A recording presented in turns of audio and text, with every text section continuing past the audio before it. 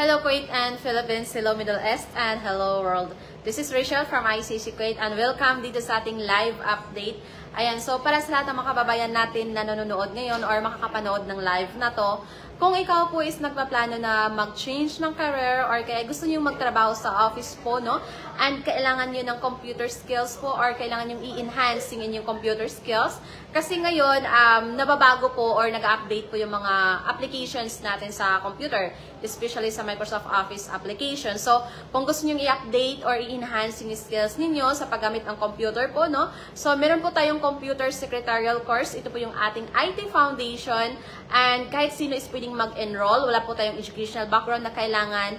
Walang um, age limit or walang height limit. Kahit sino is pwedeng mag-enroll. Kahit wala tayong idea or background kung paano ba gamitin yung computer is pwede po. Kasi nandito po yung instructor natin.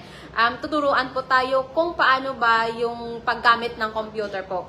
Um, from basic to professional level, matutunan po natin yung um, paggamit ng computer applications po, lalo na sa Microsoft Word, Excel, and PowerPoint. So, ito yung mga computer applications na um, kadalasan talaga ginagamit sa office work po, no? kung kayo is magtrabaho bilang isang receptionist, or admin staff, marketing staff, or kahit man anong position sa office work po, no? document controller, or data encoder, ayan. So, kakailanganin po natin yung um, magiging professional, at least magiging professional tayo sa paggamit ng computer applications, magiging professional tayo, and syempre magiging certified tayo sa paggamit ng mga computer applications na kakailanganin natin once tayo is magtrabaho na sa office work po.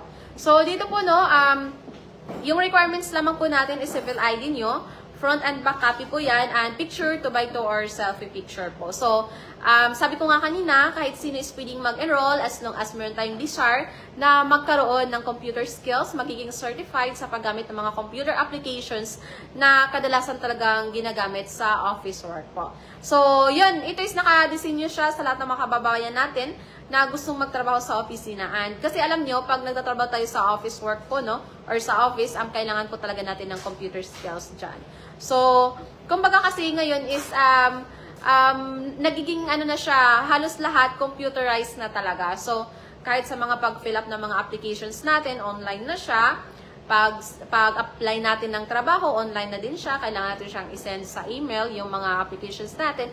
So, at least dito, magkakaroon ka ng opportunity or magkaroon ka na ano, maging certified ka sa paggawa ng mga documents, like sa um, paggawa ng professional CV meeting minutes, um, agenda, or paggawa ng organizational chart sa Microsoft Excel, uh, yung sa pivot table, or sa mga Google uh, Sheets, or um, sa table table format or calendars. Ayan. So, ang dami niyong matutunan, lalo na sa PowerPoint, paggawa ng presentation.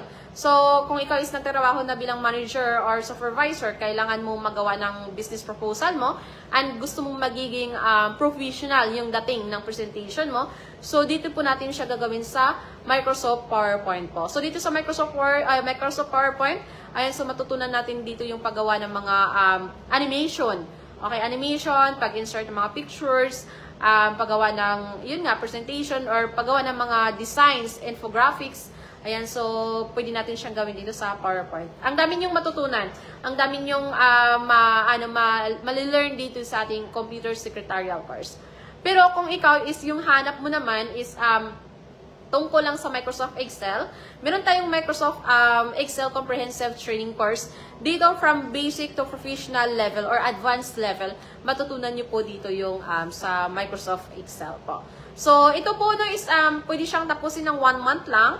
Pwede rin siyang tapusin ng 2 months, 3 months, or kaya ay 4 months. Depende po yan sa inyo kung anong duration yung mas preferred ninyo. So for now, meron tayong special offer for Computer Secretarial and Microsoft Excel Comprehensive Training Course po, no? Which is 4 months po yung duration natin na special package po. So mag-message naman po kayo dito sa ating um, inbox or kaya mag-direct message kayo sa aming WhatsApp number plus 965-9930-2850 para mabigay namin yung special offer natin na mag end na this um, September 30. So, Habol na po tayo sa pag-enroll dito sa ating computer secretarial course and i-grab po natin tong opportunity na to na ma-avail po natin yung special offer po. Especially kung ikaw is kailangan mo na taga yung computer skills mo kasi syempre um, opportunity na to natin na makapag-enroll na mas mababa yung babayaran natin.